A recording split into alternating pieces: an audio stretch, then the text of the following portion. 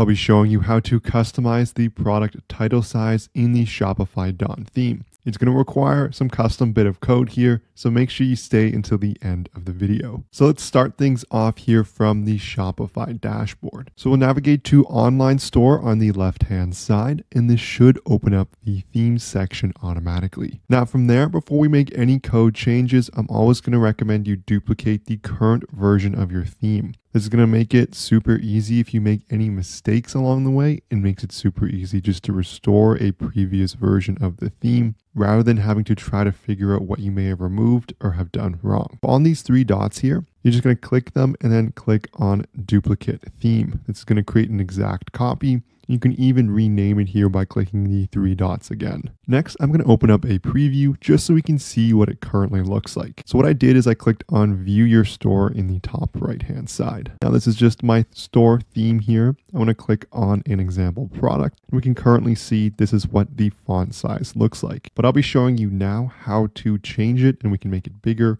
or smaller if desired. So if we navigate back to our theme section, we're to hover over those three dots again. And then from there, I'm going to click the three dots, then click edit code. This is going to open up the code editor for my Shopify theme. And what we're going to do is add a custom piece of CSS or styling code that's going to make it super easy to edit the product title and not change the font size of anything else. So we're going to search for a specific file here. It's called base.css and you can find it in the top left hand search bar and it should be under our assets folder. So from there, I'm going to open up this CSS file. I'm going to scroll all the way to the bottom here as this is where we're going to add our new code. So I'm going to make some room and then I'm going to zoom in a little more just so we can see what I'm writing here. And so you want to copy this code exactly. So it's going to be period product underscore underscore title H1. Then when I had a opening curling bracket and a closing curling bracket. And within here, we're going to write our font size. So it's going to be font dash size semicolon, and then we're going to write it right here. So it's going to depend.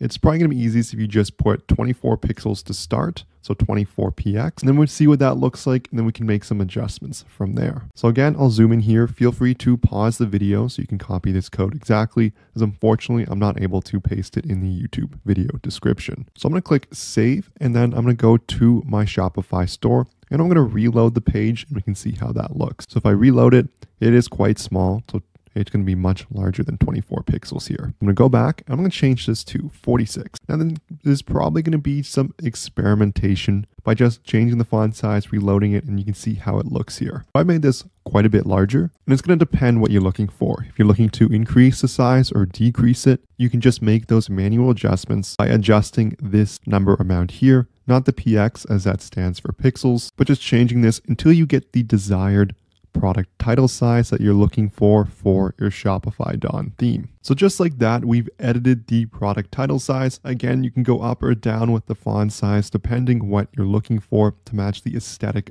of your Shopify theme. If you've ever generated any sales on Shopify, you know how hard it is to keep track of how much money your store has actually made. There's your ad spend, your cost of goods sold, your transaction fees, your Shopify app fees. There's a ton of different costs that go into running an e-commerce store. That's where our sponsor Profit Calc comes in. It's the one click profit calculator available for your Shopify store. All you have to do is select the date range you're looking for to get real time calculations so you can see how profitable you are in just one click. It's going to include all your detailed metrics that you need, as well as many different cost of goods sold options, and it syncs seamlessly with all your different ad accounts from Facebook, Google, Snapchat, Pinterest, and TikTok, as well as Bing, so you can get all of your costs into one place. There's a 15 day free trial so you can test drive everything out for yourself, and there's a link in the description below to access the Shopify app listing. You can also find it in the Shopify App Store by searching Profit Calc and looking for this logo in the top left here. If you've ever generated any sales on Shopify, you know how hard it is to keep keep track of how much money your store has actually made. There's your ad spend, your cost of goods sold, your transaction fees, your Shopify app fees. There's a ton of different costs that go into running an e commerce store. That's where our sponsor Profit Calc comes in.